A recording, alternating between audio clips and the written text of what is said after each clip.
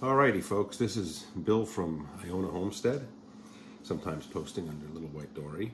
But um, what I decided today was I'd put a little video together on what I've learned, and where I'm heading in 2023. Um, not scripted, just kind of, you know, I brought up a few uh, things that I want to talk about, and I'll give a description of how I get to where I am. So, the short Reader's Digest version of why I'm doing what I'm doing. Um, Pre-COVID in 2017-18, I was looking for property in northern New York, um, in an area known as Dutchess, uh, Columbia County, south of Albany, north of Hudson, and around Hudson, New York. And um, had found a place, thought it was going to work out. Everything was wonderful, things were moving along. The only problem I had initially was that the um, closing date was going to be June, and that pretty much meant that I'd lose that year's ability to do much in the way of farming. Um, accepting that, I said, okay, you know, I'll, do what I can, make the best of it. If it's a good property, it's a good price, it's worth it. So I decided I would start here at home in Long Island, um, seedlings, and figuring, hey, you know, I've I've barely ever had any opportunity to start seedlings to know what I'm doing. I should start practicing, at least getting some sort of knowledge. So I bought, I believe, 10 72 cell trays um, I want to say it was maybe it was 20. Um, and I bought some uh, seedling containers that um, I thought would be good. So, for instance, this one right here, it's a hard, um, reusable uh, six cell or 72 in a 10 by 20 tray configuration.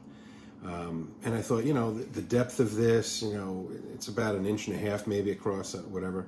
But this this would be fine. The amount of potting soil or starter soil I could put in here would be enough to work. So I bought uh, a matching number of these to go with um, the number of trays. So I think so. Let's say it was 20 trays. I think I bought. Yeah, that's probably what I did. I bought 10 trays for this style um, holder and 10 trays that were actually just trays. Okay, a tray that, well, I'll take these out and talk about them later. Um, these trays in this particular configuration is 50 cells per tray. And it's slightly different, you know, in cell size. If I hold it up, you can see that there's slightly more space in here. So interestingly that these would hold, oh, excuse me, this doesn't hold 72, I'm sorry. I'm going to the wrong one. This one, you can actually see that it doesn't quite fit in, but if I had a 72 cell, which I have some of them, these would fit right in. So you can do it in a tray like, you know, cells like this, or a tray with cells like this. Now this one's 50. I have them ranging from 200 down to, I think, 18, maybe, something like that. Something small.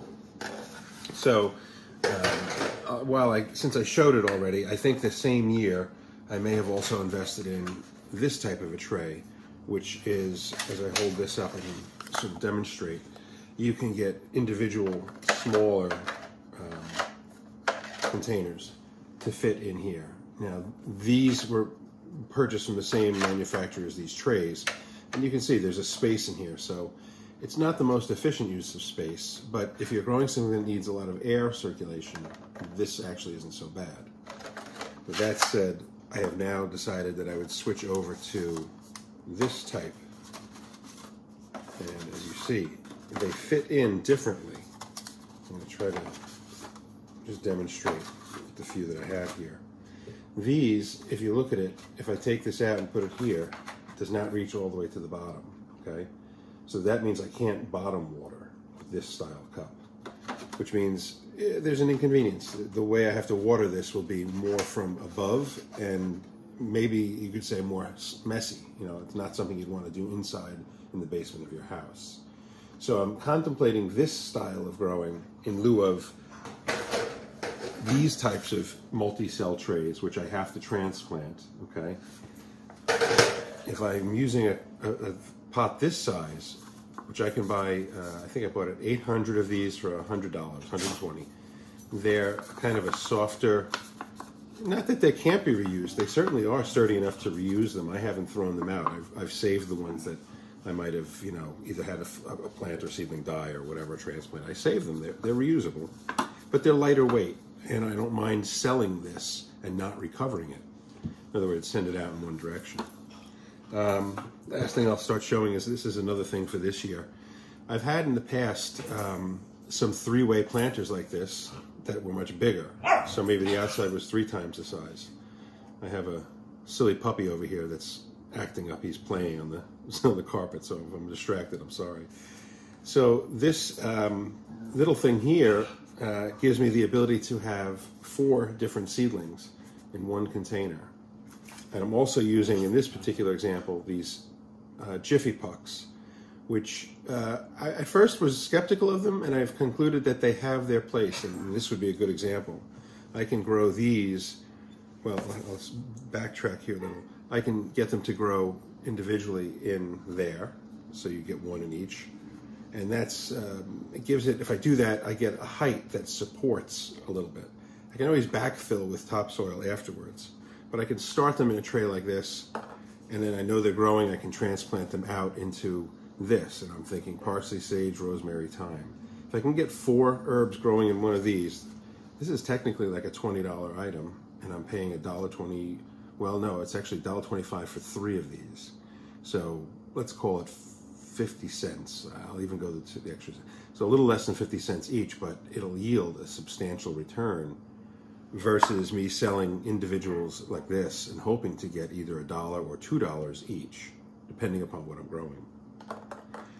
So how does that get back to this farm? So what happened was the farm fell through, and in the in the processes of learning how to do these seedlings and growing them in trays and so on, in my basement under lights, I have plenty of videos showing that. You can always go back and see that. The, the deal fell through on the farm, and after I already started it was, I guess, 1,400 tomato plants.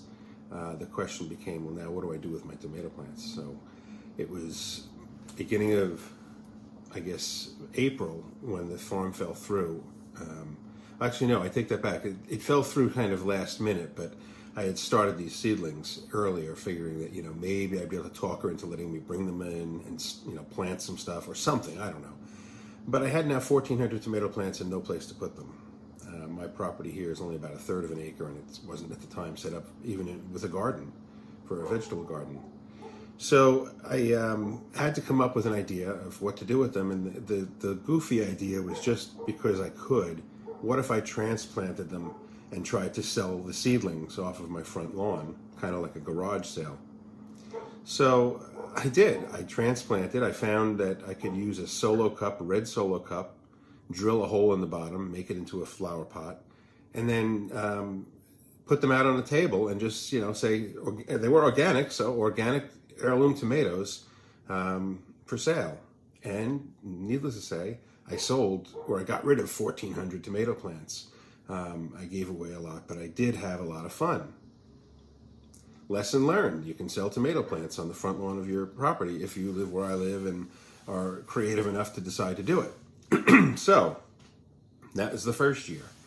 Second year comes along, and um, this is now pre-COVID, okay, just before COVID, and I'm getting excited because I'm thinking, hey, this was fun. There'll be something to do in the spring again, and I'll do it a little more organized, and you know, I can make it more into a I don't say a business, but uh, something more viable. So we did our research. Um, we went and got better equipment, you know, studied up on fertilizers and lights and you know getting air circulation, and I and I made I'll say a better system for starting seedlings. And I thought, well, maybe I could double my production. So from 1,400, maybe I could go to like 2,500 tomato plants and see could I sell that many.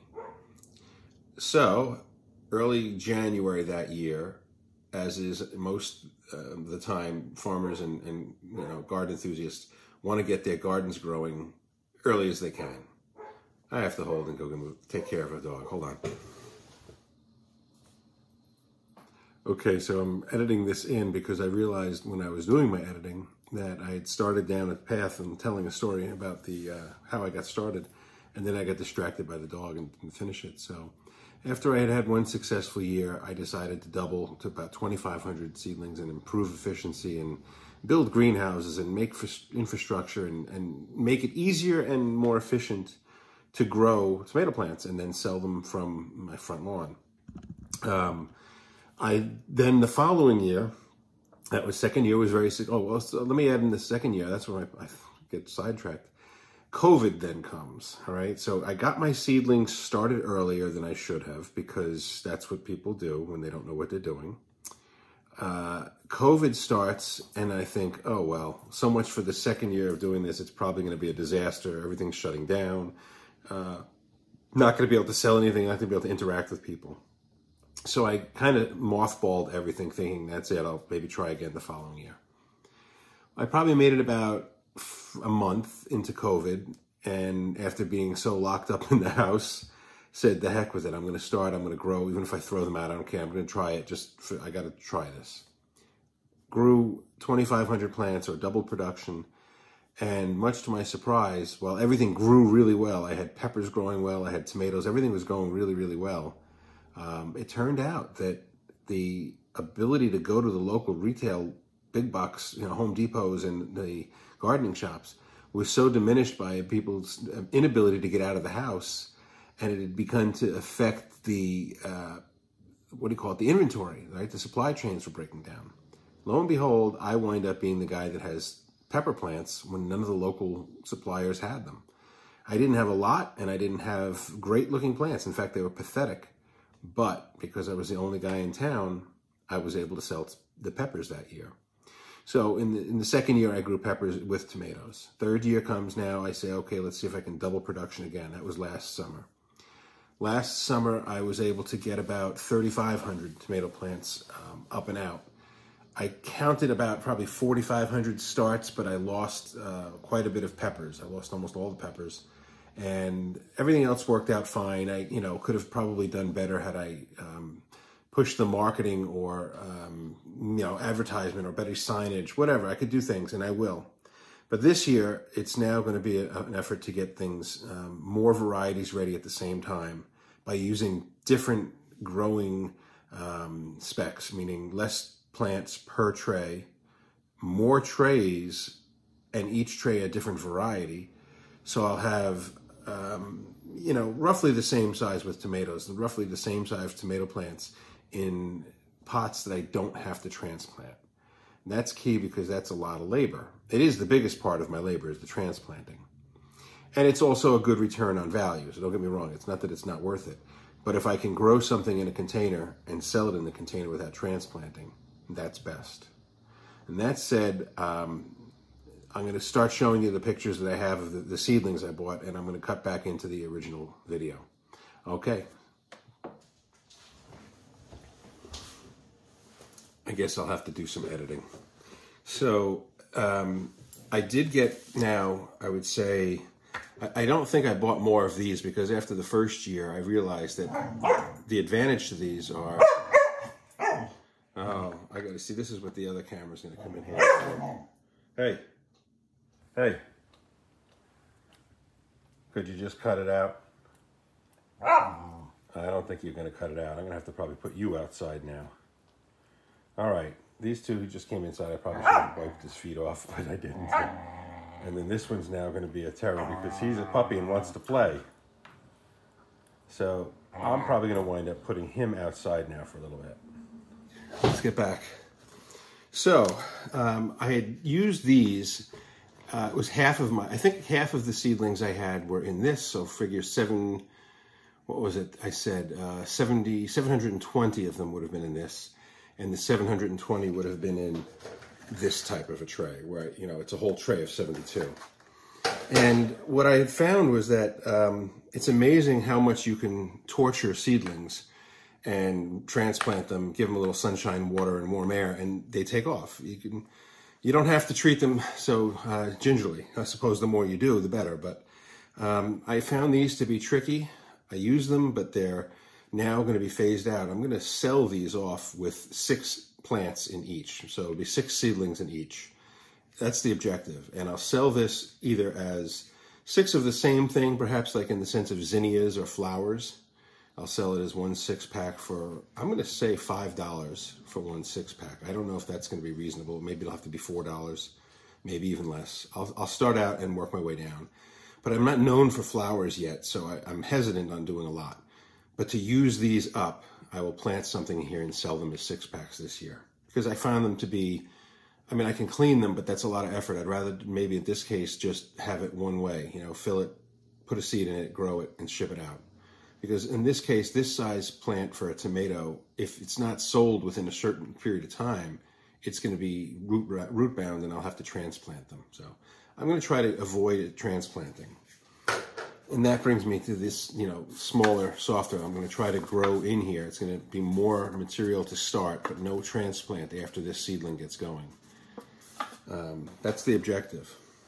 This will be started in these peat pucks, different things. I'll start six or so trays of herbs now, probably, because they grow slow.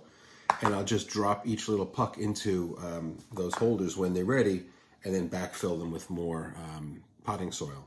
I think that's going to work out well. Uh, I look forward. I bought about, I don't know, maybe 30 of these, or 30 packs of 30. So it's maybe I have like 90 of them.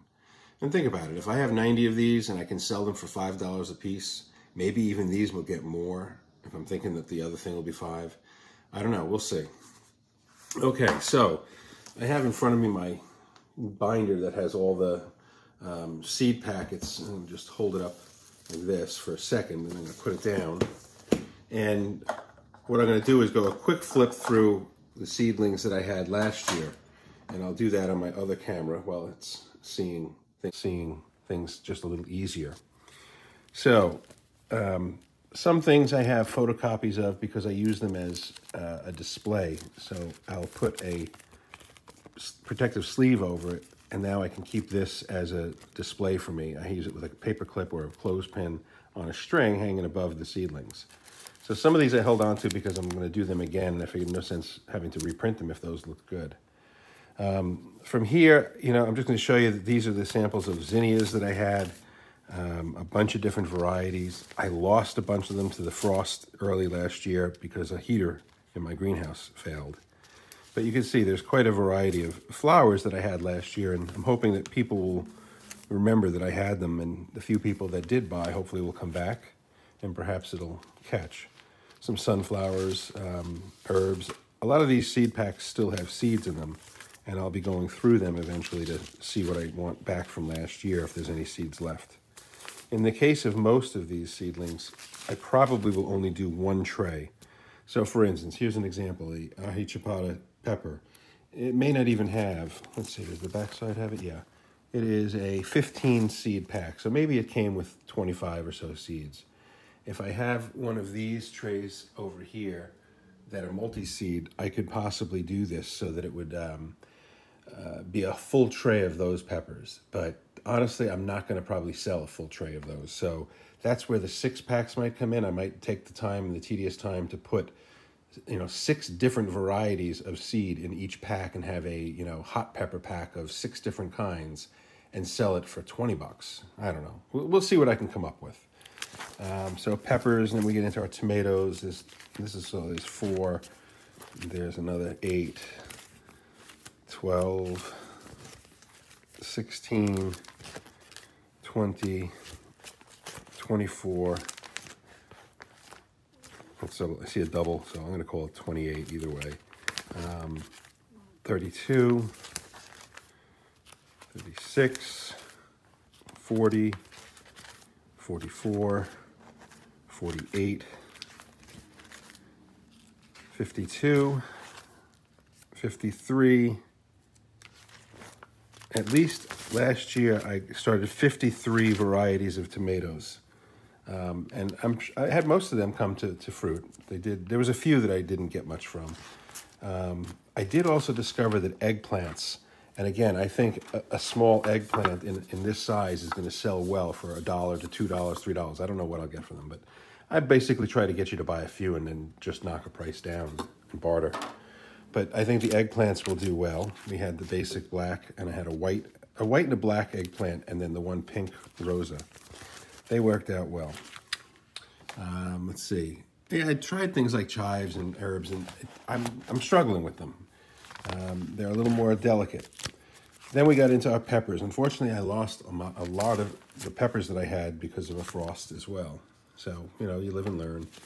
Um, and I might have only had a dozen or so of the varieties of peppers, you know. But there were some that were interesting that I really was hoping to get. The um, Carolina Reaper, uh, I think a Scotch Bonnet rather, they did okay. I, I salvaged them. And I had enough of the, um, the bell peppers. So that's just a quick look at, at last year. And I don't know the counts. I'm not going to do the count as I show you, but I do have um, more variety now um, coming from this year. Take this one over here. Keep these now in a bin. This is, um, I basically had two orders I put in to Baker's Creek. One was kind of early and one was one was very early because it was really like the end of fall and I just didn't want to have an opportunity. I didn't want to lose out on certain varieties. I, I may be able to identify which ones I'm talking about. We got the uh, the lists for the, the number of seeds. I, I guess this is maybe, let's see, how many different varieties I bought. Um, 25, it's about 75, okay? Different varieties, excuse me. But we got our packing ship lists here for Baker's Creek. These are predominantly Baker's Creek seeds that I'll be talking about today. Um, I'm gonna keep this handy here. So before I get into the Baker's Creek, I did find a, a, source here on Long Island called the Cauliflower Association in Riverhead, New York. And in which case I'm able to buy semi-bulk quantities of seed. Um, different a good example would be like this, beefsteak, red beefsteak tomatoes. Um, it's a bulk item for $3. It is, let's see, I'm trying to read this. It's a, this is a quarter of an ounce, all right? Uh, somebody can do the math in grams. But what they're saying here is that um, there's going to be a lot of seeds in here. and at $3.50, or $3 in this case, um, it's a lot of seeds. I would not be able to get this many beefsteak tomato seeds uh, in any, you know, seed pack around here at a retail store. So we have that. With that said, I have a large pack of beefsteak because I'll do quite a few of them. Um, we also were able to get some better volume seeds for low prices. Um, but I'm going to go with a, a, yellow, or excuse me, they call it a white cherry yellow tomato. It's basically a, um, what are those called? The sun gold. Um, and there's another version of it, the Carolina gold. You know, they're versions of a small yellow sweet tomato, cherry tomato. But um, we do a lot of tomatoes, so in this season, I'm going to try to do some of the ones that people requested or that I taste, you know, thought tasted really well, plus ones that I think people are just going to say, "Oh, I get it. That tastes really good." Now, I have to think, is this going to be backwards to you? Hmm, I think so. Um, let me see what I've got to do to fix this, and maybe I can fix it right away.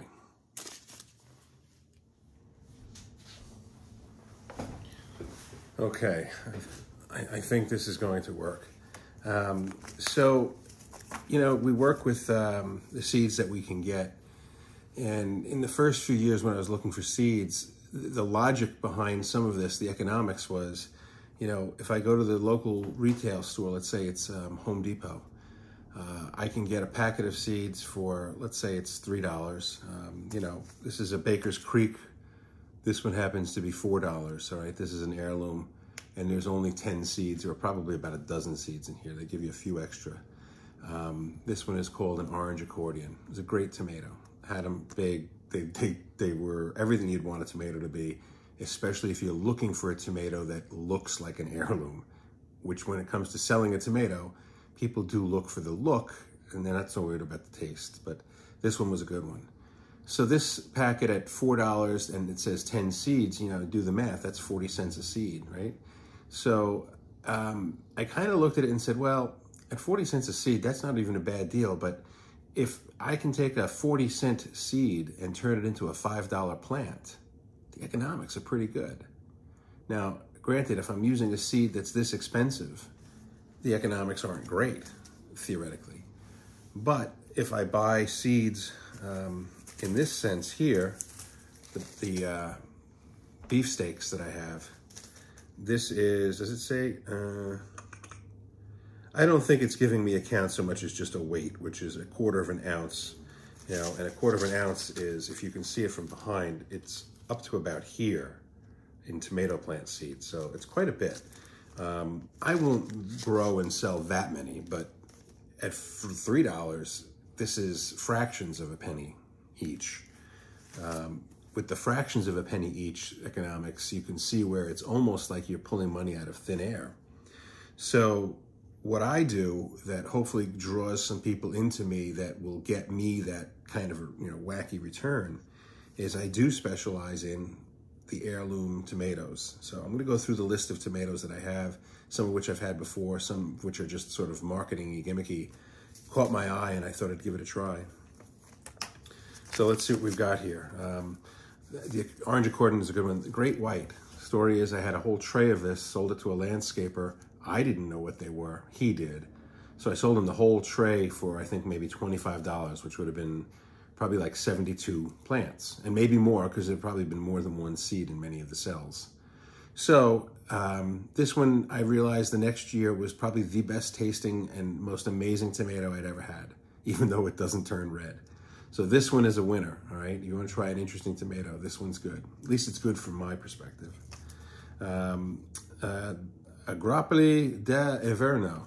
Um, I drew, I tried these last year. It was my only grape tomato, really, and the, the, tray froze. I lost them all, so I didn't really get a chance last year. I'm going to try these again this year. Um, Ozark Pink, um, just a nod to the uh, show Ozark and you know uh, Marty Byrde.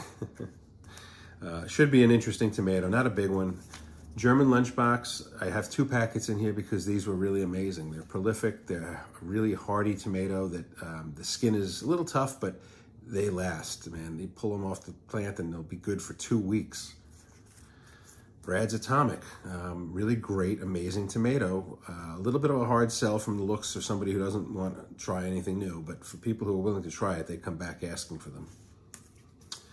Chocolate pear, can't beat a chocolate pear. Um, I've done the yellow pears and they go over pretty well. Uh, a lot of people will buy them if they have kids because the shape, it's kind of cute. So a chocolate pear should be easy. There's the other German lunchbox. Okay, so sun golds. Uh, people have a fascination with the uh, yellow cherries. And they're, they're sweet, so and they're prolific. So I've got these. Now I have some that are yellow and some that are orange. This is a, um, I'm gonna say this is a yellow version, okay? Um, Tommy Toe is uh, just a small sweet tomato. Uh, I'm trying to think. Originated in the Ozarks, so another Ozark mountain tomato. Pink Fang is just an interesting looking heirloom. I This may not sell very well at all. It may not actually taste very good. This might be just for my own edification as to whether it's worth it or not.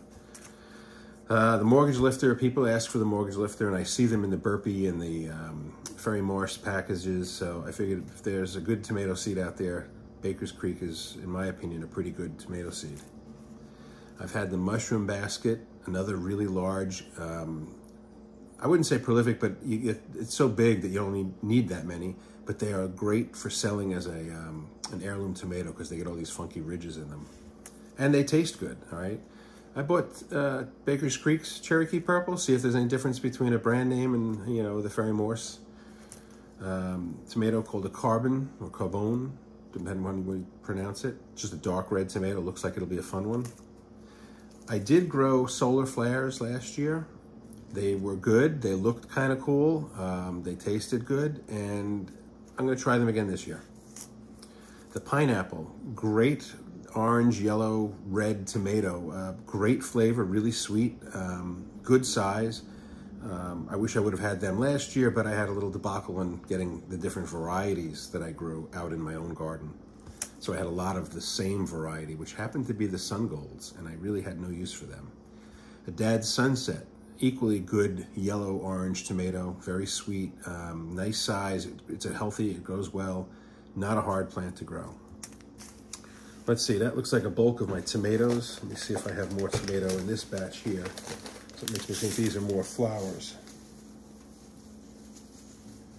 Yeah, okay, so those are, that was pretty much all of my um, tomatoes. And with the exception of some other more generic and easily to find, you know, regular red large cherry tomatoes, things like that. I'll get them, and in that case, it'll be just the um, you know, whatever Ferry Morrison and that Burpee has because I won't do more than a tray or two of each because those will, they, they sell well, but I don't need to present them so well. So just as a quick flip through, We're gonna do things like Swiss chard, and this is in our garden, not to be sold. Onions in this garden. Um, the coleus, I don't know, I think this was a freebie maybe, I don't know. That's weird that I have this, unless I bought it for my wife. Uh, calendula is great, it really lasted well into the fall. Queen lime zinnia, green, um, another zinnia. Um, got some sunflowers. Oh, here's an eggplant, the, the Rosa Blanca. This one really did well. I'm gonna try them again. Um, Dragon's Egg Cucumber, we did them two years ago in our garden. We liked them, we'll try them again. Uh, we've got Boston Pickling, Long Island Cheese. I don't know how many of these I'll actually get in my garden. The Aunt Molly's Ground Cherry, really easy to grow. Um, people really like them. There's an amazingly interesting fruit and they pretty much can grow anywhere. Um, we've got a Violet Sparkle, thought it was a neat purple pepper. Give that one a shot.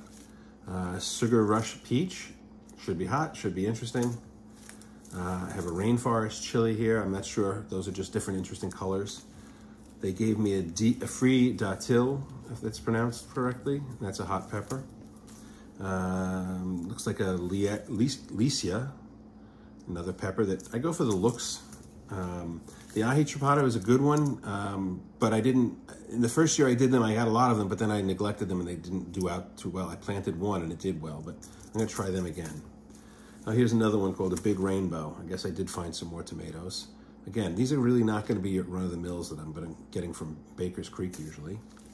We got the Black Beauty, uh, bread and salt. That's another one. I'm gonna do some radishes. This was interesting. Thought the watermelon, I think that is, or Chinese red meat tomato uh, radish. Merlot lettuce. Can't have enough of that. We got our curly parsley. We did some other stuff, but I like this uh, blue swan river mix. Um, we did some blue coneflower. I'll show it. I think I have the seeds coming up. There's a straw flower. These are kind of cool. They grow well. They're they're easy and they're kind of pretty. Echinacea, no problem selling that. People come, and if I have it, they'll take it. Um, I don't come for it, but if they see it, they'll buy it.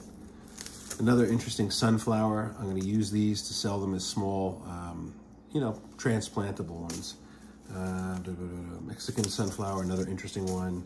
And of course, we get into some of the um, the herbs, basil, lavender. I'm trying. I have some growing from last year, but it sells. I'll try it again. Nasturtiums, more echinacea. Uh, dahlias, I did well with them. Same as the uh, the zinnias. They they seem pretty easy. Um, chamomile. Someone pointed out to me that chamomile really does draw in the butterflies. I had many of them, so we're going to grow some more of this. Um, this is kind of a, you know, a crazy daisy. It's just hopefully going to be a funky looking flower that'll be happy. Um, a different lavender, we're going to try a different one again. Uh, a different nasturtium, another different nasturtium. Oops. I guess we have uh, another sunflower, some basil, basil, and cilantro. So let's see, just the last few things I have over here. I think these are actually leftovers, which is a purple carrot, um, the mustard green was really tasty. Pink celery, a lot of fun. That was easy to grow and looks pretty too. And I don't know if it's another Merlot. I think it is another Merlot, unless I counted this one twice. So all in all, it was a pretty big haul for Baker's Creek. Uh, we got everything we wanted, and I'm seeing more that I still might consider making one more order. But that's it. So between the different containers and the types of seeds, the objective this year is to grow or have ready more varieties at the same time. Whereas in the past, I had to sort of rely on a, a sequential planting, right? Just a, uh, what do they call that? You know, when you build this schedule and you stick to it, and when one's done, you move the other one in because um, you'd only have room for so much. And that was partly due to just bad planning and, and logistics. Hopefully by this spring, I, I might have a, um, a greenhouse of some sort or a warm room or something I'm going to call it, which is an outside plastic covered area that I can pump some heat into to keep a frost off, but more importantly to keep rain and, and bad weather from knocking my plants down. I also have a problem because this year I have to contend with two dogs, not even one, but it'll be two dogs possibly. And it's just going to make for, you know, more challenging experience. But my objective would be to have, when I roll my wagon out, as many varieties of tomato available as possible. Because when I find somebody who's interested in these tomatoes, they pretty much want to buy one of everything. And I'd like to have that opportunity. So I'm going to try different things, and I'm hopefully going to have more varieties available at the same time. I'm also going to hopefully have things, you know, like these um, novelty trays and other size flower pots uh, growing with something. And if I'm successful there, I'm hoping to generate enough revenue on, on little things that actually sell for a lot more than a tomato plant and use the tomato plant almost as a loss leader. Maybe I'll just do one generic middle-sized tomato as the uh, one I advertise is like, you know, for a dollar fifty each and say, yeah, dollar fifty for those, the others are three dollars each. I don't know. I hate to be into the marketing so much as meeting people, but my curiosities sometimes are, well, am I selling it for too little? Or am I thinking that maybe people are paying more out of charity as opposed to thinking they're a good product? Whatever. I just, it's curious, fun, and um, hopefully I'll do better this year than I have in years in the past. With that said, I'm to go shut this off and start the editing process. You all have a good growing season. Uh, you'll see me in videos over the season, and we'll, I'm sure, document our progress. Okay, folks, you grow that. Bye-bye.